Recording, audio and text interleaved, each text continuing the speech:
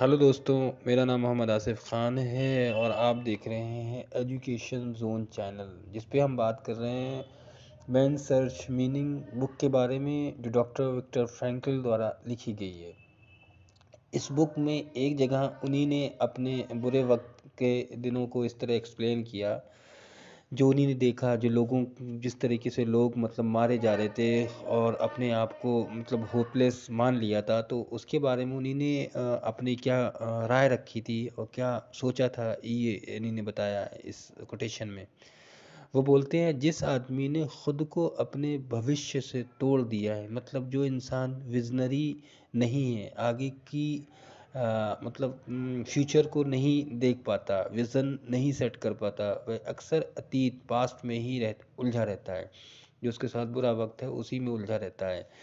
जो वहाँ पे कैदी थे उनके मन में भी पास के लिए बहुत गहरे लगाव की फीलिंग रहती थी। वो बहुत ज़्यादा पास में ही आ, मतलब कि स्टक रहते थे। इसलिए वह प्रेजेंट को सारे जुल्मों के साथ सह सहन कर पाते थे। मतलब प्रेजेंट सिचुएशन जो थी, उसे किसी भी तरीके से कितना भी जुल्म हो, उसको वो सह पाते थे। लेकिन प्रेजेंट को उसकी हकीकत से छिनने का एक ख़तरा भी था। इस तरह कैंप में वे सभी अवसर आसानी से नज़रअंदाज हो जाते, जो कैंप लाइफ को बहुत पॉजिटिव बना सकते थे।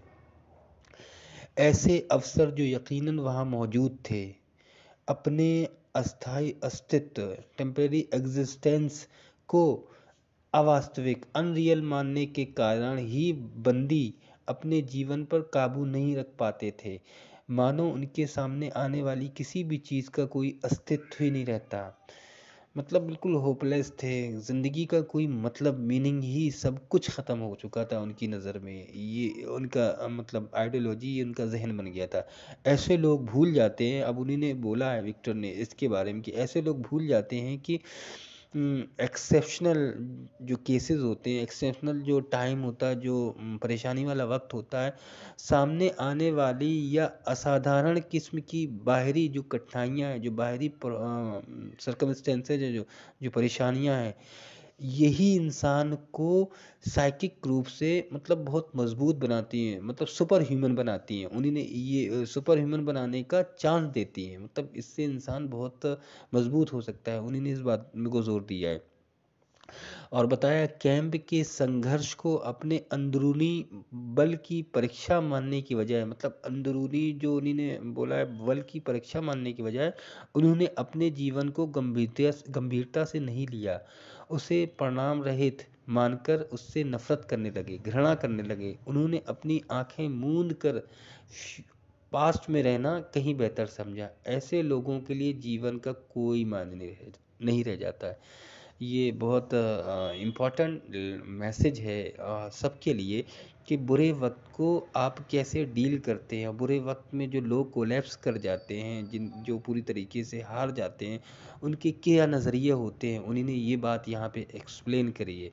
तो आई होप कि आपको ये बात बहुत अच्छी तरह से समझ में आ गई होगी कि ये सरकमस्टेंसेस इंसान के साथ होता है और इंसान का पूरा अंदर का सिस्टम डैमेज हो जाता है और इंसान आसानी से हार मान जाता है।